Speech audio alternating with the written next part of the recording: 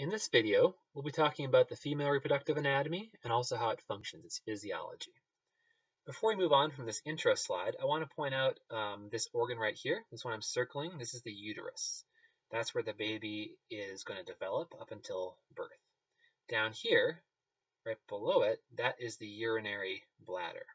So this is the reason why, as a woman progresses in her pregnancy, it becomes harder and harder for her to hold her pee for very long. She may have accidents because that baby up there is getting bigger and it pushes on the bladder. And sometimes it kicks the bladder as it's inside, which can then lead to more pressure and have difficulty then holding urine. So incontinence is not an uncommon thing um, during pregnancy. So these big folds of skin, there are um, inner ones and outer ones. Those are the labia. Um, L A B I A. Labia is a Latin word that translates to to lips because it looks like a mouth from the side with lips. Um, there's the majora and the minora. We'll call them the labia collectively. Um, so the folds of skin before the entrance into the vagina. So here is the entrance into the vagina, the um, orifice there. Up here is a separate opening. That's the entrance to the urethra. That's where urine comes out. Um, some women I've found do not actually know there's two different openings, the urethra opening first, and then further back there, the vagina. And up here we have the clitoris. The clitoris is the female equivalent of the penis, or I guess you could say the penis is the male equivalent of the clitoris. Um, so the clitoris responds in similar ways. When aroused, it becomes engorged, so it fills up with blood.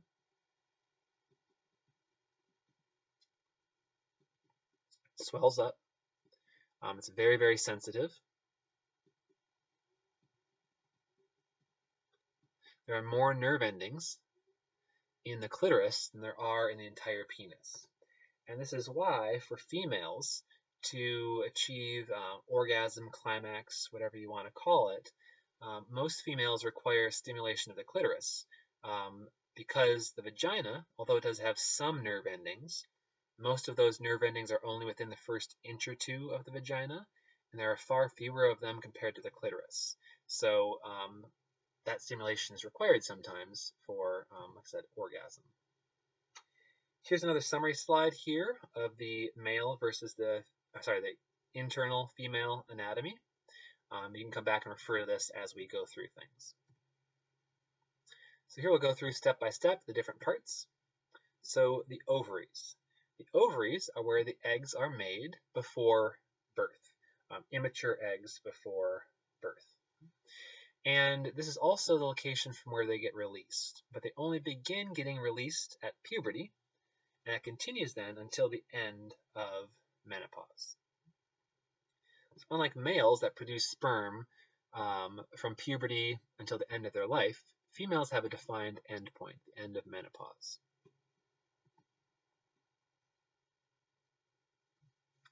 We have the fallopian tubes. Fallopian tubes have other names as well. You'll also hear them called the oviducts or the uterine tubes. All these mean the same thing. And these tubes are going to transport that released egg down towards the uterus. This is also the site of fertilization. The vast majority of the time, this is where the sperm have to swim up into to encounter that ova, that egg, and fertilize it. Next, the uterus. The uterus is where that embryo will attach itself, will implant, will burrow into the lining of that uterus and stay there and continue to grow until um, delivery. The cervix, it's important to note, this is part of the uterus. It's not its own separate organ. So it's the lower part of the uterus. It's ring-like or circular, and it produces mucus. The mucus it produces regulates the passage of sperm and other things through that area. It helps to keep the baby in the um, uterus until delivery time. And it also has to then dilate and um, efface prior to delivery the mucus it produces during pregnancy is very, very thick and it creates a plug to help prevent bacteria or other things from being able to get up into the rest of the uterus. And lastly, the vagina. Vagina, of course, is where intercourse can occur, and it is also the birth canal where the baby is passing through, unless a C-section is done, which we'll talk about later.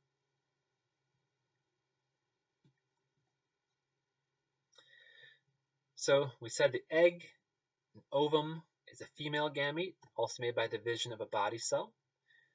This happens inside the ovaries, and the name for this process is oogenesis.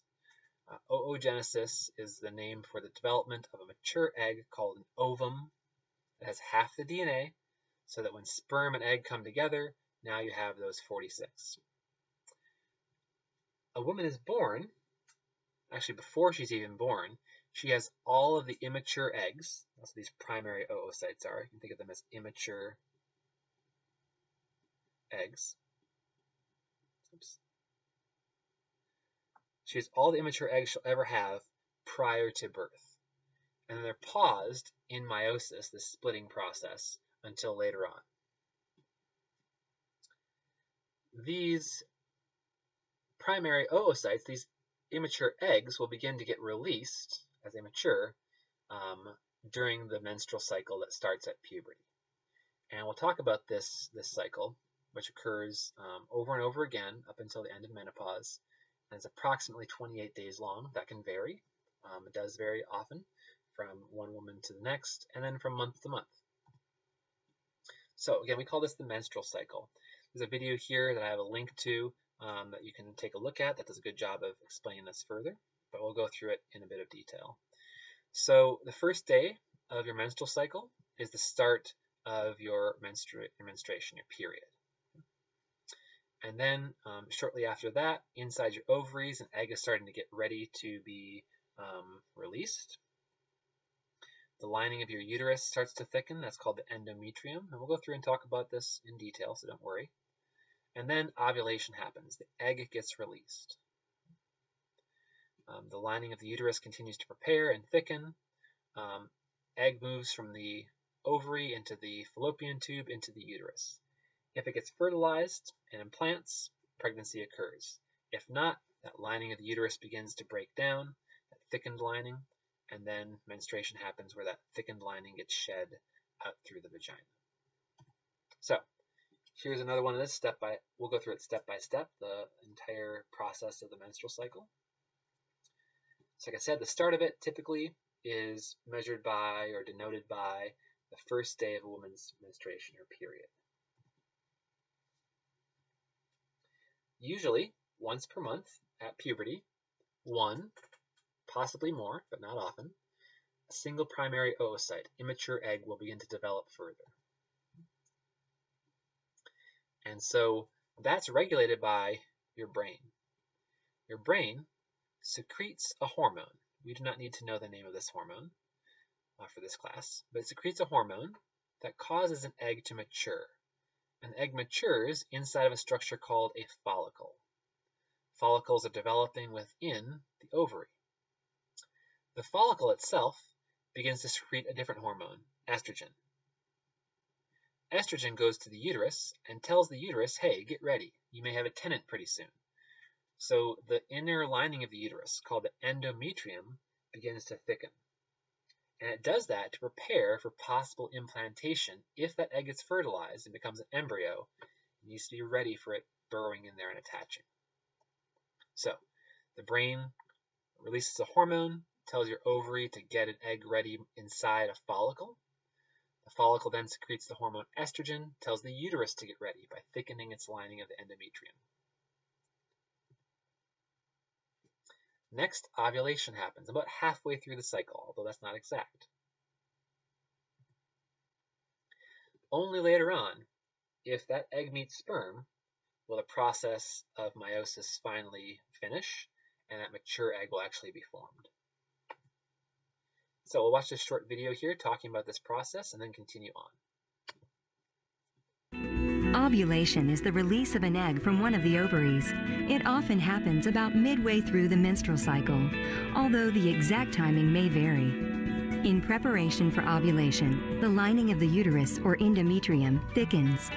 The pituitary gland in the brain stimulates one of the ovaries to release an egg. The wall of the ovarian follicle ruptures at the surface of the ovary. The egg is released. Finger like structures called fimbriae sweep the egg into the neighboring fallopian tube. The egg travels through the fallopian tube, propelled in part by contractions in the fallopian tube walls. Here in the fallopian tube, the egg may be fertilized by a sperm.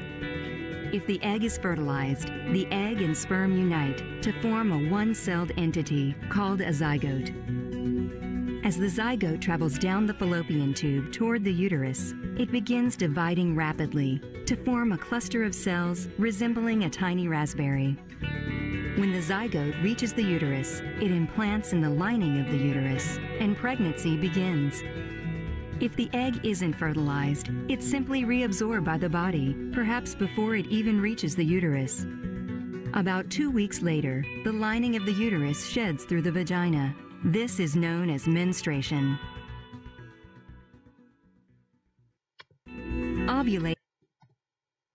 So in this, oops, sorry, um, series of images here, we're seeing the actual process of ovulation occurring. This was captured um, sort of by chance when I went in to do a surgical procedure in a, a woman. And you can see here that we have this follicle, this structure developing inside the ovary where an egg is maturing and getting ready to get released. Ovulation is when the egg actually gets released out into the fallopian tube. So, like I said, about midway through, ovulation happens, egg is released. The follicle that's in the ovary where that egg was developing doesn't just go away instantly. Instead, the remnants of it, what's left over, becomes a structure called the corpus luteum. This little cartoon down here, I think, does an excellent job of summarizing what's the, the main steps here are. So the corpus luteum secretes a different hormone called progesterone. Progesterone causes the lining of the uterus to continue to get thicker and also to be maintained, again, um, assuming that the egg was fertilized and an embryo um, has been formed. If the egg was not fertilized, that corpus luteum will break down, will go away, um, become a little scar eventually on the um, ovary. And then the menstrual cycle will begin again with menstruation, that thickened lining of the uterus being shed. So as we have here, if no fertilization occurs, menstruation happens. The thickened lining, that's called the endometrium, is shed. If fertilization does occur, embryo implants. It burrows into the lining of the um, uterus. Corpus luteum stays around for a little bit longer, and that thickened lining, that thickened endometrium,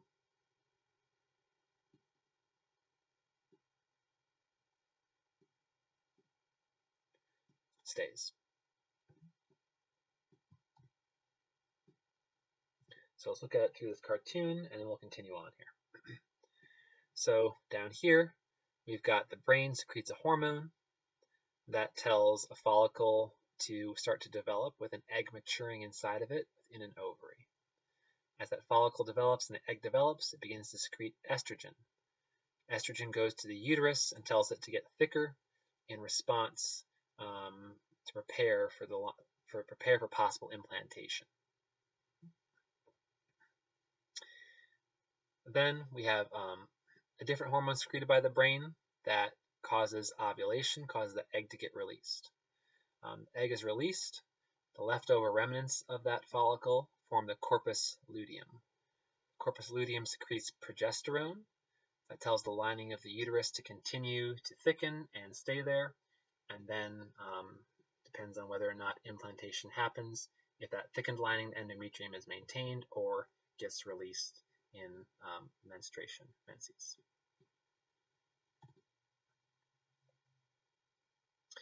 So here is taking a look at um, a couple terms we want to come together with. So we said egg and sperm, those are the female and the male gametes respectively. They come together in a process known as fertilization to form what we call a fertilized egg. The term we'll use is a zygote. A zygote is a fertilized egg what's formed right after egg and sperm come together. Other terms here talk about how many copies of chromosomes there are. Haploid means there's one copy of each chromosome. In humans, that means there's 23 chromosomes. After fertilization, now it's diploid. 46 chromosomes, the normal copy, two copies of each, 23 plus 23. And over here, remember that to make these sex cells, you're taking a body cell with 46 and you're cutting it in half. To make a sperm cell or an egg cell, it only has 23. They come together in fertilization to form that diploid zygote with now the normal 46. We're going to watch another video here talking about the fertilization process, and we'll continue on.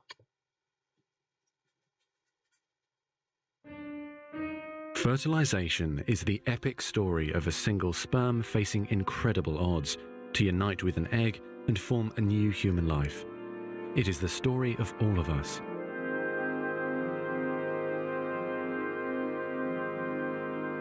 During sexual intercourse, about 300 million sperm enter the vagina. Soon afterward, millions of them will either flow out of the vagina or die in its acidic environment. However, many survive because of the protective elements provided in the fluid surrounding them. Next, the sperm must pass through the cervix, an opening into the uterus. Usually, it remains tightly closed, but here the cervix is open for a few days while the woman ovulates. The sperm swim through the cervical mucus, which is thinned to a more watery consistency for easier passage. Once inside the cervix, the sperm continues swimming toward the uterus, though millions will die trying to make it through the mucus. Some sperm remain behind, caught in the folds of the cervix, but they may later continue the journey as a backup to the first group. Inside the uterus, muscular uterine contractions assist the sperm on their journey toward the egg. However, resident cells from the woman's immune system mistaking the sperm for foreign invaders, destroy thousands more.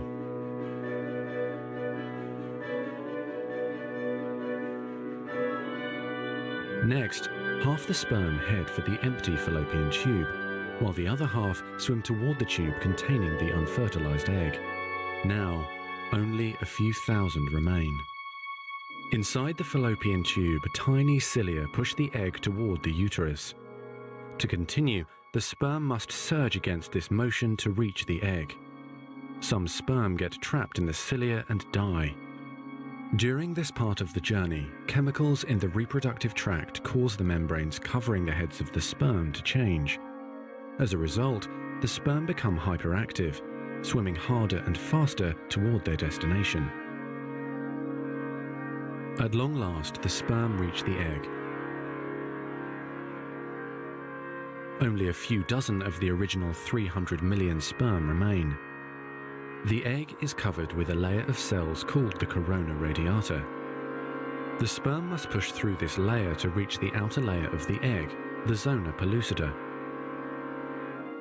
When sperm reach the zona pellucida, they attach to specialized sperm receptors on the surface, which triggers their acrosomes to release digestive enzymes, enabling the sperm to burrow into the layer.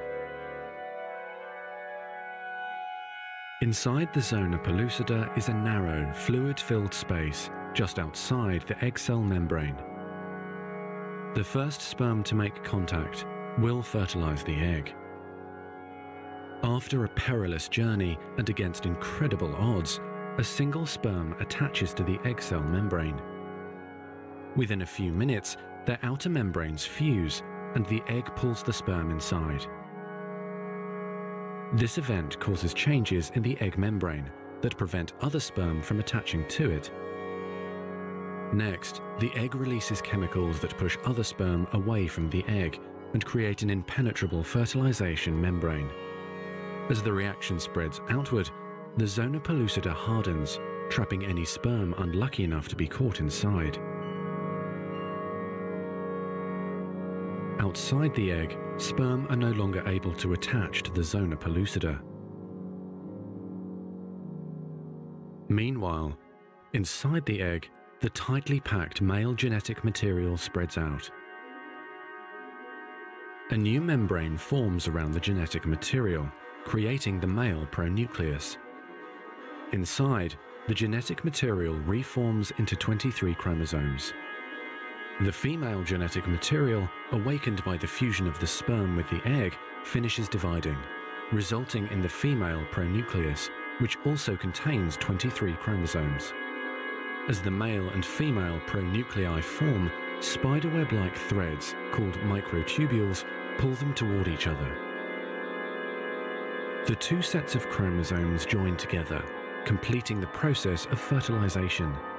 At this moment, a unique genetic code arises, instantly determining gender, hair color, eye color, and hundreds of other characteristics. This new single cell, the zygote, is the beginning of a new human being. And now the cilia in the fallopian tube gently sweep the zygote toward the uterus, where he or she will implant in the rich uterine lining, growing and maturing for the next nine months until ready for birth.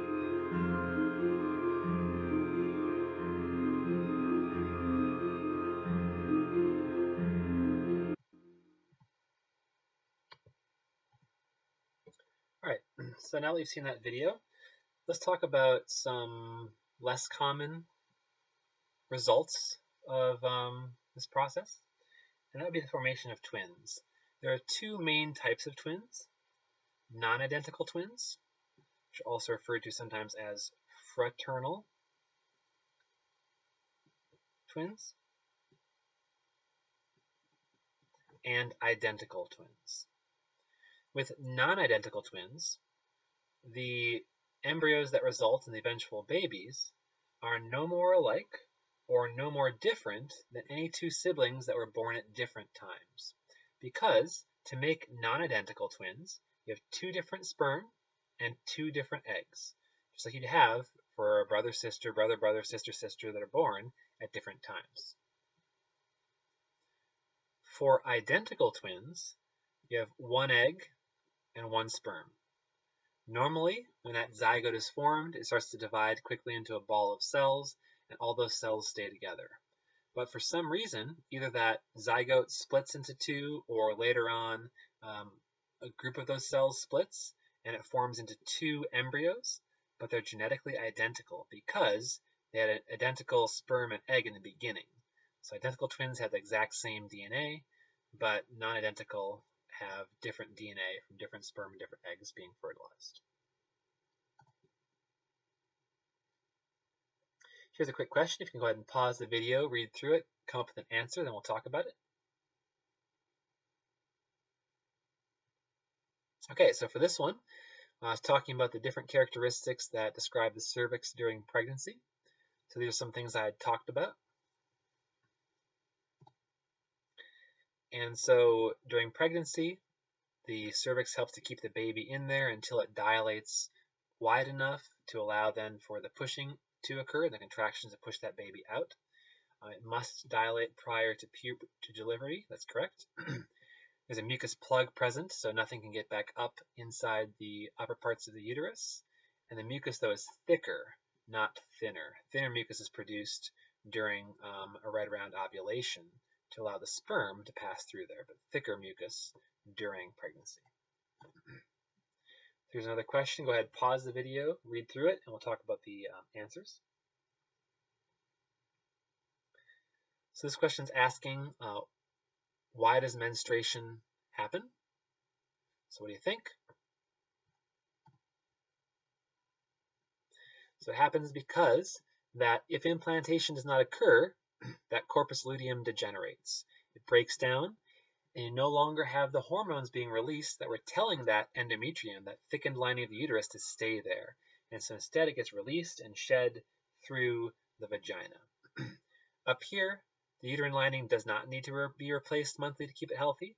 Think about before a female hits puberty or after menopause. The uterus is still healthy, but the lining's not being shed, so it's nothing to do with the health of the uterus. Um, menstruation coincides with the release of an egg from an ovary? No. Um, the ovary begins to develop an egg inside of it during menstruation, but the release happens after menstruation. And extra blood cells are not grown, cells are not grown in the vagina. Instead, they're grown in the uterus and get shed. So here's another video for us to watch. This one's a little bit more edgy, so um, don't watch with any children around.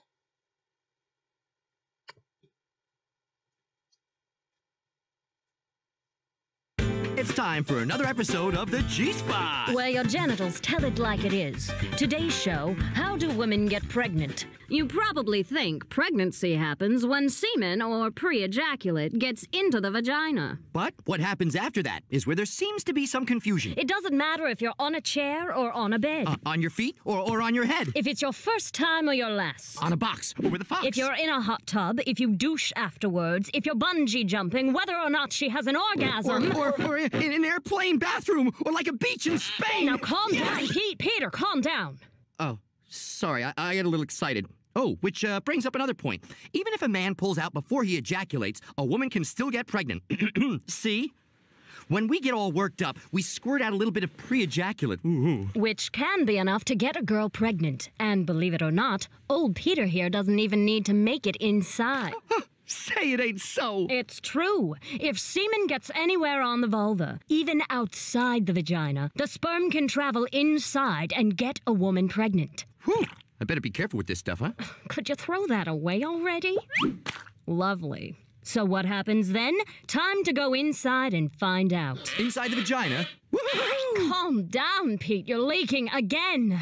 We're using the vagina can. Oh. Hey, it's still pretty cool, huh? You might think that pregnancy happens right after sex. I know, Peter, that's not true. And if you use that buzzer again, I'm getting a catheter. Buzzer's gone. Thank you. As I was saying, pregnancy doesn't happen right away. The semen forms a pool in the vagina near the cervix. It's called the seminal pool. It's an indentation in the vaginal wall just below the uterus. Standing up won't empty the pool, and douching might actually push the semen into the uterus. Ah, the seminal pool. Sperm lounging around, waiting their turn to go. When they do go from the pool into the uterus, they go in waves. Banzai! So, how long does it take to get pregnant? It could take up to six days to just fertilize an egg, and another six days to implant itself. But up to six days afterwards, the sperm can leave the pool and head on up through the uterus and into the fallopian tubes. Finally, they arrive. They hang out, they wait for an egg. If a woman is ovulating, an egg descends into the fallopian tube. If there are sperm waiting there, according to new research, the egg then decides which sperm gets to enter and fertilize it. Go! And now she's pregnant, right? Cut it out! This is kind of fun. She's not pregnant yet. The sperm and the egg create a zygote, a one celled combination of the sperm and the egg. Next, the zygote turns into a multi celled pre embryo. About four days later, it starts to implant itself into the wall of the uterus, which takes a couple more days. Pregnancy actually begins when the implanted pre embryo starts releasing hormones that prevent menstruation. Which is why women miss their periods when they get pregnant, right? Exactly. Wow. Yeah, I really learned something today. Well, don't think about it too hard, poor thing. You'll just give yourself a headache. Oh. That's it for tonight, folks. Hope to see you again soon, right here at the G Spot. You know, uh, Mina, all that talk, you know, really got me going. How about you? Uh? What doesn't get you going? All right, before we talk about this question here, I want to emphasize a few things from that video. One of the things they had mentioned was that sperm can live up to six days under optimal conditions within the female reproductive tract. They also said that um, pre-ejaculate, which comes out before the semen containing sperm, can sometimes have small amounts of sperm come with it, which could be enough to lead to pregnancy. And then the third thing is that if ejaculation occurs on the labia, the clitoris, any of those external female um, reproductive structures, there's a possibility, however small, the sperm could actually swim inside and also lead to pregnancy. So three things that you want to kind of think about. So here's another question talking about um, identical twins. Take a minute to read through the options, relating it back now to two different terms we'd introduced. All right, let's take a look at the answer and pause it if you haven't had a chance yet to um, answer this question. There we go. So each of those have to be haploid, having half as much DNA, 23 chromosomes each. So when they come together, we have a normal 46. so pregnancy is generally broken down into three trimesters, each one being approximately three months long. Different things happen in terms of development in each of the different trimesters. I won't test you on the specifics as to what's happening when, but if you're curious, you can look at, um, scan this QR code with your phone and uh, check out a video that's a pretty good one um, about the first trimester. Um, so I think there's three trimesters. You should know that much about this. You should also know that a full-term pregnancy is considered to be between 39 weeks to just under 41 weeks. So we'll go right in the middle. We'll say that 40 weeks is a full-term pregnancy. Earlier than that is early term or premature, preterm. Um, then you have late term and post-term. Um, if a woman is healthy, you want to try to get to full term because even in those last few weeks, all the organs are developed, but there are important things happening inside um, the to the fetus inside the uterus. And it's been shown that helping to go until that 40 weeks at least, or full term, um, leads to much better results for the, the child. And if you go past that, there's really not a lot of risks um, unless the baby's getting too big or there's some kind of distress for the baby.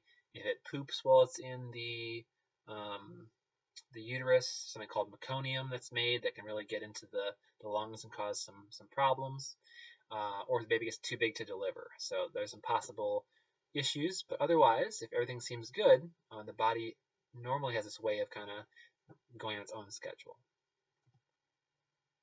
So here are the sort of basic phases of, of birth. You have contractions beginning in the uterus. The muscles of the uterus are contracting and pushing on that baby. As that baby gets pushed down, it causes the cervix to um, get pushed on and stretched a little bit, and the cervix starts to dilate, to, to open up, and also efface, to thin on both sides. And that will continue to occur until the cervix is dilated far enough, usually like 9, 10 centimeters is um, sort of the area where they're comfortable saying go ahead and push now. And then um, pushing along with the contractions of the uterus, getting stronger and faster, are going to push that baby then out through the vagina, the birth canal. You want to have the baby come out head first. Um, that makes for the easiest delivery, less complications. If it comes out in a different direction, that's referred to as breech position.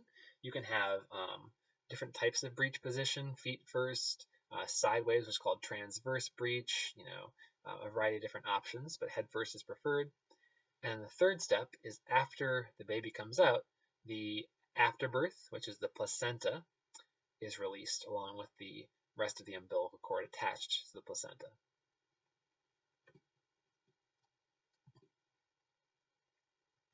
So watch a video about this process as well.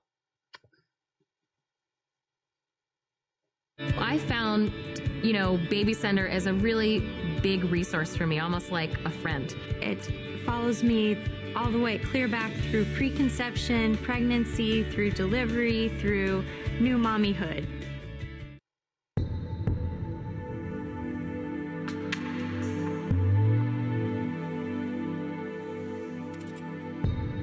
In the weeks before birth, your body slows down production of the hormone progesterone while increasing production of other hormones, including prostaglandins, which soften the cervix, and oxytocin, which triggers the uterine muscles to contract. True labor contractions are rhythmic and painful and grow consistently stronger. As the long vertical muscle bands of the uterus tighten, they pull the cervix open. The strong muscles at the top of the uterus push down and release, guiding your baby toward the cervix. The mucus plug, a collection of thickened cervical mucus that sealed your cervix shut for nine months, may be expelled days before or in the midst of labor. When the amniotic sac ruptures, your water has broken. It can feel like a trickle or a gush of fluid. Your cervix will begin opening and thinning, known as dilation and effacement. Once you reach about 4 centimeters, your body will move into active labor. In active labor, contractions become stronger and closer together. At 8 centimeters, you enter what many consider the most painful part of labor transition. By 10 centimeters, you're fully dilated and may feel the urge to push. This is your signal that the second stage of labor has begun. Your baby will move down with each contraction. The three separate soft bones of his head will temporarily overlap so he can pass through the snug birth canal. Your baby's scalp will come into view. When the widest part of his head is visible, your baby is crowning. With several more pushes, your baby's face, shoulders, and body will emerge. In the third and final stage of labor, your placenta detaches and is expelled. With your baby's first breath, the incredible journey of birth is complete.